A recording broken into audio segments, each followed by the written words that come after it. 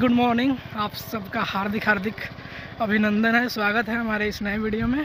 तो गाइज़ अभी हम आपको बता दें कि वो अभी हम अपने यूनिवर्सिटी में इंटर कर चुके हैं। वो जो आपको पीछे दिख रहा है, वो मेन गेट है और जो हमारे आप लेफ़्ट में दिख रहे हैं, ये स्तूपा है। अभी हम दक्षिण बिहार केंद्रीय विश्वविद्यालय के प्रांगण में हैं और हम आगे आपको दिखाते चलेंगे कि कैसा दिखता है हमारा विश्वविद्यालय।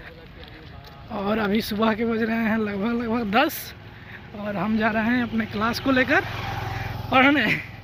आज हमारी क्लास मालवीय भवन में होगी, जहाँ हम पढ़ने वाले हैं बेसिक एजुकेशन जो डॉक्टर चंद प्रभा मैम पढ़ाती हैं, काफ़ी अच्छा पढ़ाती हैं, और जो आप ये बिल्डिंग पीछे की तरफ़ से देख रहे हैं, ये एडमिन भवन है, और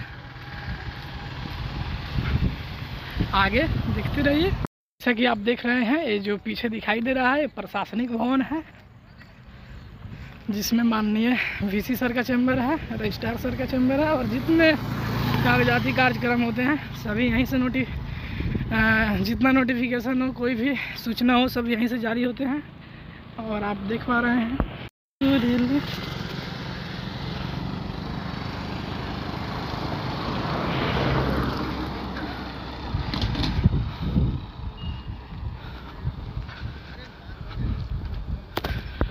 और जैसा कि आपने देखा कि एक एस का ब्रांच भी सी के अंदर ही है और इसके साथ साथ ही एटीएम भी है, जिससे पैसा वैसा निकालने में दिक्कत नहीं हो।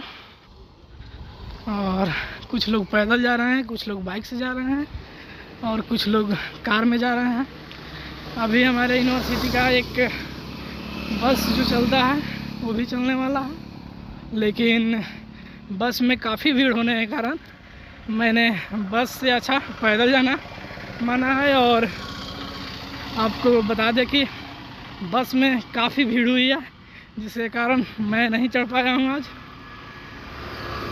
यहाँ पर रिस्ट्रिक्शन दिया गया है कि हेलमेट का प्रयोग करें और स्पीड को अपने लिमिट में ही रखें 20 किलोमीटर पर आवर के स्पीड से आप जाएँ। तो गाइज़ गाइज़ बस अब आने ही वाली है। आप देख पाएँगे बस में कितना भीड़ है।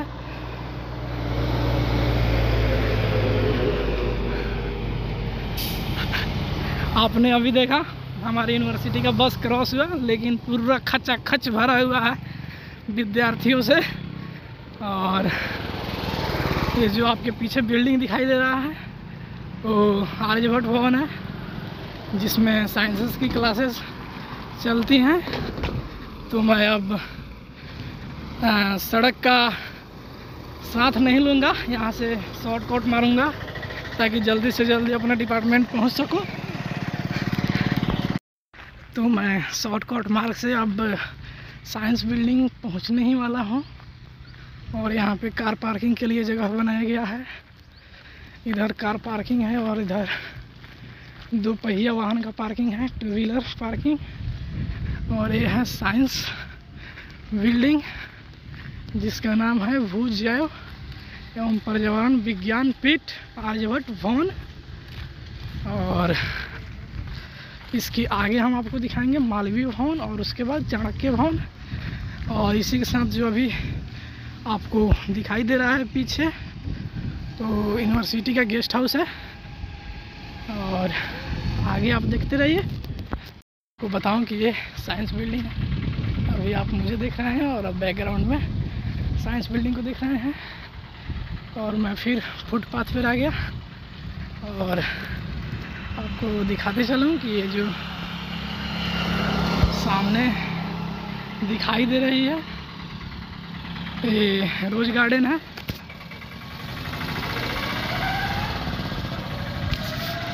दिखता है आर्यभट्ट भवन।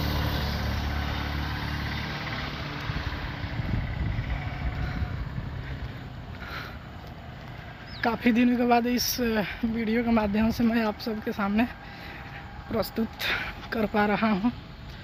आज वैसे भी टेस्ट है तो थोड़ा बर्डन तो बढ़ ही जाएगा टेस्ट का।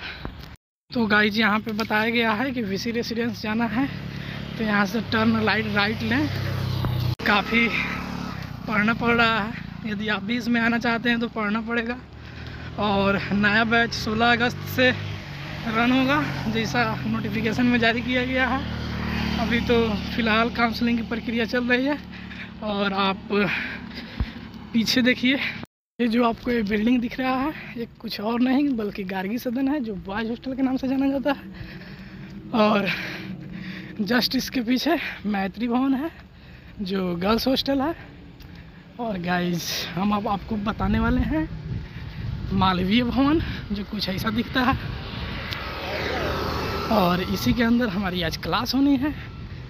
तो हम आपको आगे दिखाते रहेंगे। यहाँ पे इधर सिक्योरिटी टाइट है। आप इधर से बाइक वाइक से लहरिया कट नहीं ले सकते हैं। नहीं तो सिक्योरिटी आपका लाइसेंस जब्त कर लेगी। और ये रहा गाइस मालवीय बिल्डिंग और जो सामने दिख रहा है, वो है चाणक्य बिल्डिंग और इधर है हमारा खेल कॉम्प्लेक्स प्ले ग्राउंड और ये है शिक्षक शिक्षा विभाग। तो गाइज़ हम एट द टाइम बिल्कुल 10 बजे पहुँच चुके हैं अपने डिपार्टमेंट और हमारी क्लासेस चलेगी। रूम नंबर ज़ीरो ज़ीरो आठ है, और हमारी क्लासेस चलेगी। Room number zero zero seven तो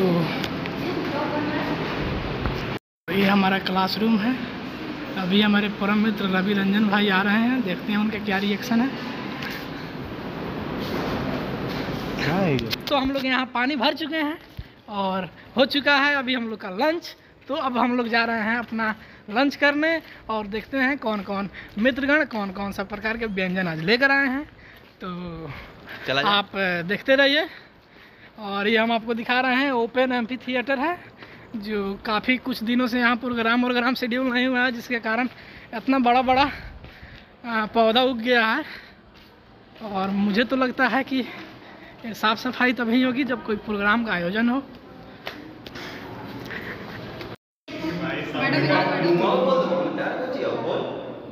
खाली यूज़ टू है तू सब चीज़ नहीं बोल रहा सब हम बोल देते हैं हम पीछे तो बैठा है। चंचल टाइप रहा है दिन भर। 아, 진짜.